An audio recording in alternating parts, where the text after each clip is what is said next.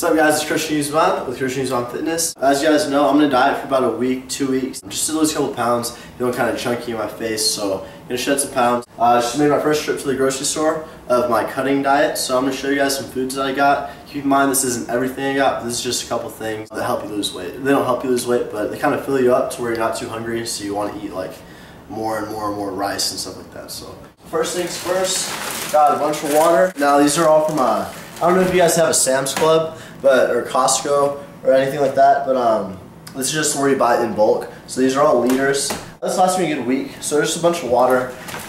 I try, try to drink at least a gallon a day, uh, roughly, so four of those a day. Next, we'll go to our fruits.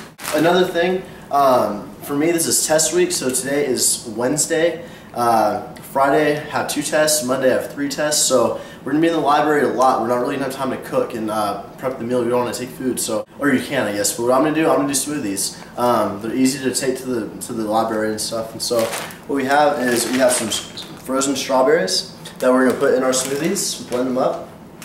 We're antioxidants, good source of carbs. We also have our blueberries and antioxidants. Now, the great thing about these are, you can get kind of a lot for a little bit of carbs. There's no fat, there's no, there's not much protein.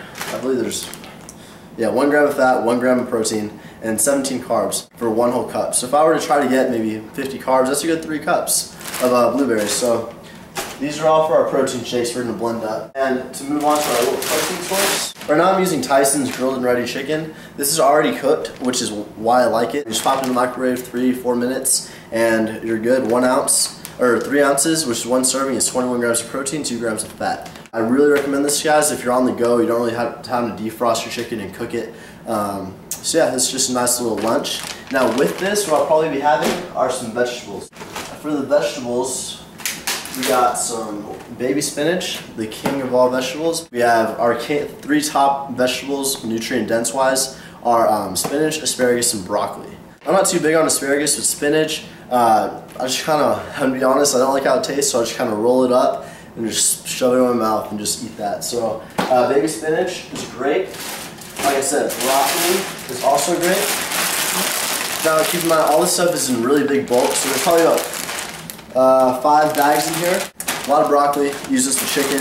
I usually put some olive oil and some seasonings on this in the chicken. So broccoli, got our carrots. Um, Carrots are just kind of good to snack on. You can do them, I just do them raw. Some you can put them in a shake if you want. But that's, and last but not least, another good source of protein is egg beaters. These are pretty much just like egg whites, so we're looking at zero grams of fat, five grams of protein per serving, and less than one gram of carbs. Straight protein, guys. Uh, one little carton has 50 grams of protein. So I usually do about a carton in the morning. And again, um, I go for about about 170 when I'm cutting, maybe 190, 200 grams of protein a day. So yeah, this was a trip to the grocery store, guys. Another thing, I'm offering meal and workout plans now. Send me a message on Facebook if you're interested. I will fully customize you a plan if you're lagging in a body part or if you can't seem to lose weight. So yeah, subscribe, check out the Facebook, Instagram, Twitter, all that stuff's in the description box, and thank you for watching.